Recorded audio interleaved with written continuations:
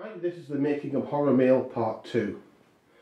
This isn't a promotion for a film because there isn't a film yet. Horrormail does not exist. This is the making of Horrormail. I'll tell you a little bit where I've got to now. Where I've got to now is all of the stories for Horrormail have been written. They've all been edited. Uh, and there's a frame that goes around it because Horrormail is going to be an anthology film, okay? Or as much as I can with one person. So it's going to be an anthology film. So there's a framing ID which goes around it. Uh, and that is what holds all the different stories together basically, yeah? What I've also done is the basic uh, links and framing IDs aren't just going to be uh, mindless links. I decided well, fairly early on, I needed more than that. I didn't just want them to be, you know, you get anthology films where the links are just sort of there, you know, where they hold it together and nothing more than that. Well, they're not just links to hold things together. In the frame like set the bits are there and the frame of the of the thing is basically what the what I'm talking about and the stories will be there. That sort of visual way of representing it. Uh, it's more than that, they have to be interesting on their own. So I do have a plan for the different uh, links between the films because obviously uh, although the whole idea Horrormail it's basically about a letter through the post yeah? Uh, and that's the idea itself. There will be things between the different stories and these have to be interesting. Uh, so I've decided to make these they should be so interesting that you could take them take them out and put them on their own. And they would stand up okay? That's how interesting I want them to be. And so I do have some props. Not a lot, but some. Uh, but don't expect these to be sold because so far these are my, this is my stuff, okay. The props. Uh, but there won't be many props, it's not going to be like a lot of stuff like that. Although there will be letters and things like this it'll be used in it. Uh, whether people will want to buy these when the film's complete, I don't know. But could could happen, you know. Uh, but also uh, you know, the look of it has to be thought through now. I've already thought about this to some extent, but the look of it and how I go about it from there. There's still things to do, okay? But this does help show how I have moved forward.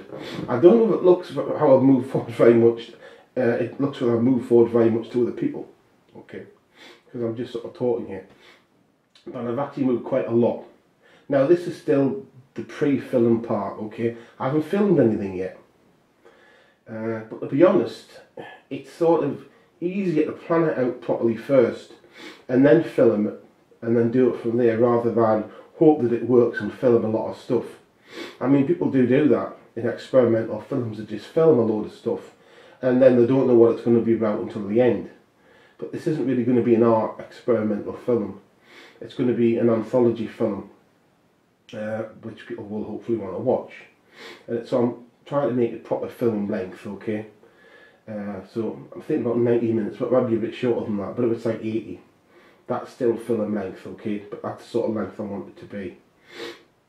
Although a lot of this comes down to how the links work out and how long they are, because I haven't been too precise about writing the links out. I know you think as an author, as a professional author, and write all the links out as a script, but what I don't want to do is to make it too in uh, in stone, okay, because I think the links have got to be organic to an extent.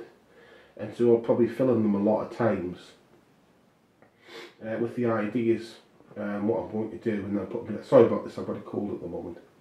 So that's what I'm really going to be doing there. But there's also other aspects to it as well, uh, and that is the anthology format.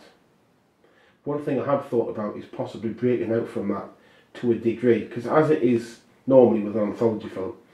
You'll have something at the start and then you'll have a story, a film, and then you'll break back to, like, say I am here, and then you have another story. And what I actually thought was, what would be interesting is to break back sometimes mid-story. So you've got me talking about it and then you go back. Which technically then, it's not necessarily an anthology film. But I do think it'll work quite interesting and help me to change the texture and the flow a little bit. Uh, where the film will be filmed will probably be here, okay? Maybe not right here, but it'll probably be here. I'll probably, the camera will be further back and stuff like that. Uh, but this is where it'll probably be because you know, the film has to be filmed in a normal house. You know, it's just supposed to be some guy's place, which makes it ideal because this is some guy's place, it's my place, so it makes it much easier. Uh, but I did think about how I'll break out that format or not, so I'll what I'll do is I'll probably film two versions of some of the things uh, and then see which one I go with because all I've really got to do is to edit bits out and edit bits in and see how that works out. But I think that may be possibly the way to go. Uh, sorry, Bella. Sorry, handkerchief. You can tell this bit isn't scripted. This is just me talking about it anyway. But so far things seem to be going well. And of course I've still got uh, a lot of the pictures to do. And the pictures will be will come from the stories, okay? Because a lot it's going to be pictures of different types match stories. It'll be quite a fast turnover of pictures though? Don't just think like one picture and that's it, and it stays for a while. It'll be changing and organic. And that's part of the reason to switch back and forwards. Because I think that may be a good way to tell the story. Because in all the stories, because in actual fact, a lot of this is going to be down the words and the quality of the story themselves, okay? This isn't going to be a case where special effects, uh, where I'll try to use that to get myself out of problems. It's not going to be able to work. I'm not going to be able to get myself out of a problem using special effects because there isn't any.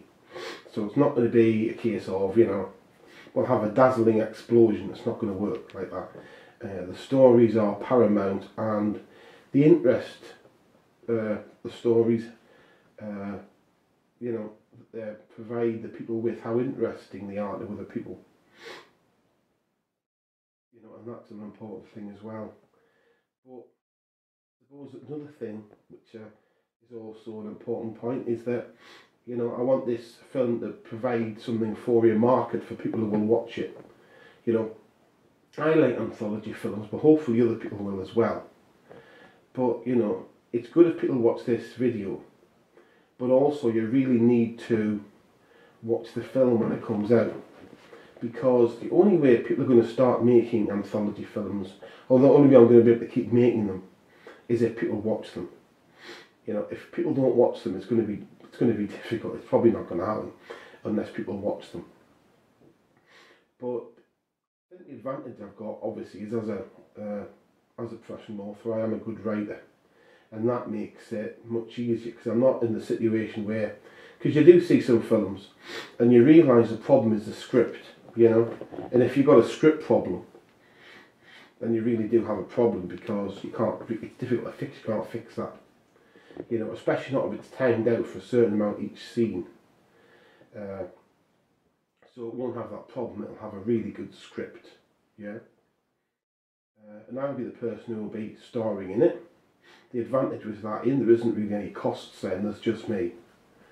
Uh, and also, hopefully, the film will uh, make people want to buy some more of my books or things like this. It'll work as promotion as well.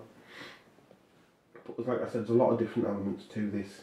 And there's also the element of the audio, okay? There may not just be voice, like there's not going to be sounds and other things in the background, but you see the thing is I've got to be careful as well. Because it's a film, there can't be anything with any copyright or royalties to it.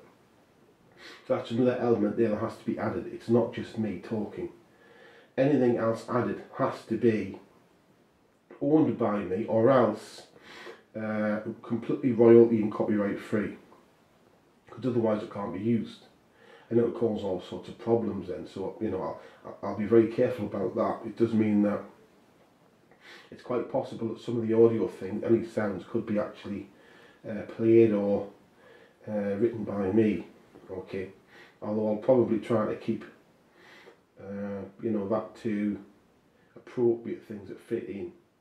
But, you know, I'm not necessarily thinking about music. I think it would be good to have maybe some music for the beginning, but how practicalities, you know, uh, be another thing. But possibly ambient noise and things like this, because uh, real ambient noise, unfortunately, is, is quite messy. It's noisy, which is why you normally remove it if you can. Uh, because real ambient noise tends to just blur in with the voice and you can't hear it properly.